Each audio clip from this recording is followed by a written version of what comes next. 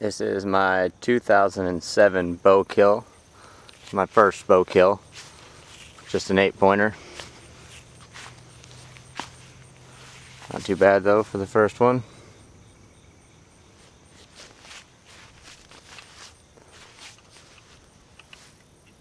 Southern Illinois bow hunting.